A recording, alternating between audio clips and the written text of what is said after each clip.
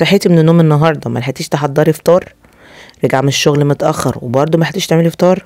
زهقانة من الفطار العادي اللي إحنا بناكله في رمضان وعايز تعملي حاجة سريعة النهارده بقدم لكم وصفة أسرع مما تتخيلوا هنعمل أحلى محشي وأسرع محشي وأكتر محشي صحي في الوجود. طعمه تحفة يا جماعة من المطبخ التركي وسعراته قليلة فوق ما تتخيلوا بصوا جماله يجنن وطعمه يعني روعة. هيخليكم تنسوا أي محشي ممكن تاكلوه في حياتكم لأنه بيتعمل في 10 دقايق بالظبط. والله ما أخد مني أكتر من 10 دقايق. عايزين تعرفوا عملته إزاي؟ ادوا like ويلا بينا على طول على المقادير. أول حاجة عندي كوسة بأي كمية أنتوا عاوزينها. الكوسة سعراتها قليلة جدا جدا فكتروا منها على قد ما تقدروا لأن هي مشبعه ومليانة فوائد كتير و fibers كتير. تمام؟ وعندي ربع كيلو من اللحم المفروم أو الدجاج المفروم. عادي جدا مفيش أي مشكلة. وعندي بابريكا وعندي توم وبصل بودر وعندي ملح وفلفل أسود وسبع بهارات وقرفة. من كل حاجة من دول معلقة صغننة. تمام؟ وعندي زيت زيتون أو أي مادة دهنية أنتوا تفضلوها. خلاص هنبتدي كده على طول عشان إحنا جعانين وعايزين نحضر الفطار بسرعة. هاخد القلب بتاع الكوسة احطه في آه، صينية كده وابتدي ان أنا آه، اقور الكوسة زي ما إحنا شايفين. هوريكم إزاي قورتها عشان برضو الناس اللي متعرفش تقورها.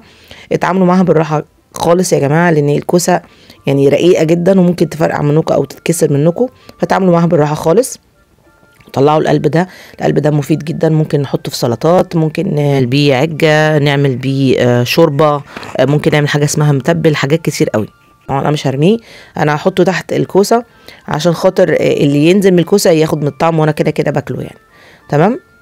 وهبتدي إن أنا أشرط كده بال- بالمقوار أبتدي أعمل تجزيعات كده حلوة في الكوسة عشان تستوي أسرع ويبقى شكلها حلو في الآخر.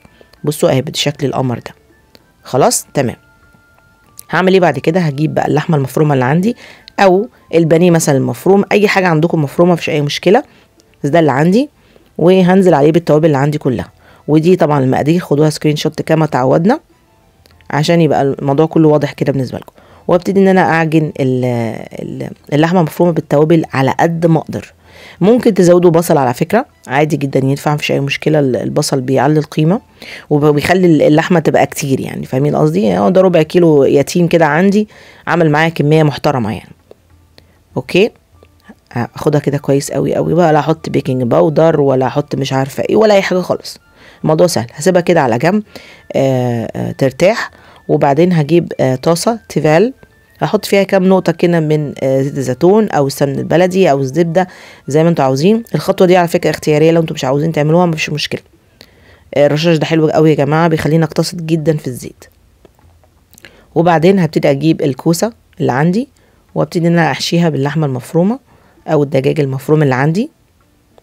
وفي الوقت ده آه، بكون برضو بسخن الفرن عشان أنا عايزة أنجز عايزة أخلص بوتاجاز فوق وأنزل الفرن على طول عشان أنجز. زي ما قلت لكم الأكلة دي سريعة جدا جدا ومشبعه فوق ما تتخيلوا. خلاص؟ هاخد بقى كل الكوسة اللي عندي وابتدي أحشيها. بصوا بقى ملاحظة مهمة قوي لما تيجي تحشوا الكوسة احشوها للآخر على عينها زي ما بيقولوا.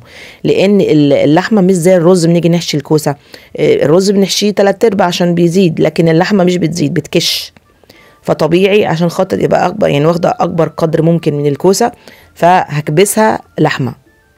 زي ما أنتم شايفين كده بالمنظر ده. خلاص؟ أهو كده. خلصت بقى الكمية كلها ورفعتها على النار آه، عشان بس إيه يعني إيه الكوسة تبتدي بت- تطلع ريحتها بس. أنا عايزة كده يعني أنا الحركه الحركة دي اختياري. أنتوا مش عايزين تعملوها مفيش مشكلة بس بتخلي بتدي الكوسة طعم تاني خالص بتوديها في عالم تاني زي ما بيقولوا. من كتر ما هي بتبقى تحفة. يعني بدي لسعة كده بسيطة في الكوساية بتخلي طعمها حلو قوي قوي قوي غير إن آخدها كده دايركتلي أحطها في في الفرن يعني بيبقى طعمها شوية مسلوق. لكن كده أنا بديها طعم حلو قوي وحرمشة حلوة يعني. مش قادرة أوصف لكم ريحه حلوة قد إيه والموضوع كله سريع جدا جدا جدا جدا. يعني الموضوع بياخد له من حوالي من دقيقة لدقيقتين بالكتير عشان توصل للمنظر اللي أنا عاوزاه ده. بصوا يا شايف اللسعة دي هي اللي أنا عاوزاها. بتدي طعم حلو قوي ومدخن كده للكوسة.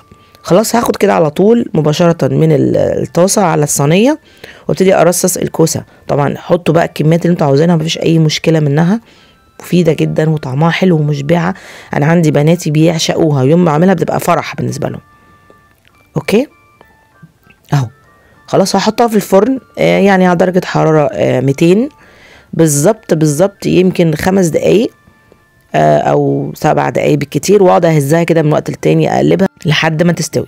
هعمل جنبها آه، سلطة زبادي عندي زبادي وعندي نعناع وعندي ملح وفلفل أسود وثوم وبصل بودر وليمون. الزبادي ده أنا عاملاه في البيت ده زبادي يوناني لو عايزين الطريقة أسيبها لكم إن شاء الله في صندوق الوصف سهل جدا جدا جدا. هنزل عليها بالنعناع ال- اليابس أو اللي هو الناشف أو الفريش مفيش مشكلة عادي. فلفل أسود وثوم وبصل بودر والملح. تمام؟ وبعدين هنزل عليها بعصرة ليمون. لو الليمون مش موجود عندنا تنفع معلقة صغيرة من الخل. عادي جدا. بس هي كده جاهزة معايا. عايزين تزودوا عليها خيار؟ عادي جدا. ال ال الوصفة دي أصلا من المطبخ التركي فمعروف معمول دايما الكوسة بتتعمل جنبها سلطة الزبادي الجميلة دي. زي ما بتعمل كده ال- الورق العنب برضو جنبه سلطة الزبادي بيبقى طعمه تحفة. هقلبها كويس قوي قوي قوي بصوا قوام ال- الزبادي تحفة. خلاص خلاص كده الكوسة جاهزة معايا بالظبط بالظبط يمكن بعد سبع دقايق في الفرن. وابتدي بقى أرصص الجمل ده مش قادرة اوصف لكم ريحتها وطعمها روعة. آه فرق شاسع بين المحشي اللي هو بالرز الكوسة اللي معمولة بالرز. لا اللحمة المفرومة خلت طعمها خرافة خرافة بجد. حاجة كده زي بتاعة المطاعم كده اللي بندوقها من بره وخفيفة قوي قوي قوي فوق ما تتخيلوا. بصوا جمالها والريحة بقى. اللهم إني صايمة. تجنن. خلاص همسك إيه ال ال الزبادي اللي عندي ممكن احطه آه، جنبها مفيش اي مشكلة عادي. أو ممكن ان أنا احطه بالشكل اللي إحنا شايفينه ده من فوق كده واستمتع بطعمها كده على طول. بصوا جمالها. لوحة فنية. يعني بجد لو عندكم شوية كوسة وشوية لحمة مفرومة مش عارفين تعملوا لهم فطار إيه النهارده دي هتسد معاهم جدا. وحمروا مثلا شوية بطاطس جنبها وخلاص. بس طبعا اتحمروا في الفرن أو في ال air fryer. تمام؟ بصوا بقى بصوا منظر الزبادي قوامه تحفة على على الكوسة. يعني حاجة كده بسم الله ما شاء الله تفرح القلب الحزين. okay بالمنظر القمر ده. في الوصفة الأصلية بيحطوا بقى على الوش لوز وبندق وعين جمل. طبعا الحالة الاقتصادية ما تستدعيش الكلام ده فإحنا هنعمل إيه؟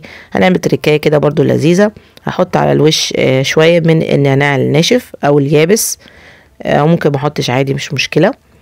الواحد يعني إيه يجود كده زي ما بيقولوا عشان خاطر الدنيا تمشي معاه وتبقى الحمد لله بإذن الله نعمة من عند ربنا. بصوا طبق قمر. طبق ده كله لو كلناه مش هيتخنى خالص لأن ما عملتش كمية اللحمة المفرومة كلها. بصوا بقى كده هبتدي بقى ندوق ونستمتع بأحلى محشي كوسة في الدنيا صحي مليون في المية. طبق يعني يشرح القلب الحزين زي ما بيقولوا. هدوق بقى قدامكم واستمتع وبقول لكم يا رب يا رب تكون حلقة النهارده تكون عجبتكم. متنسوش بقى بال like وال share وال subscribe والفيسبوك والانستجرام والتيك توك وبحبكم جدا جدا جدا. سلام.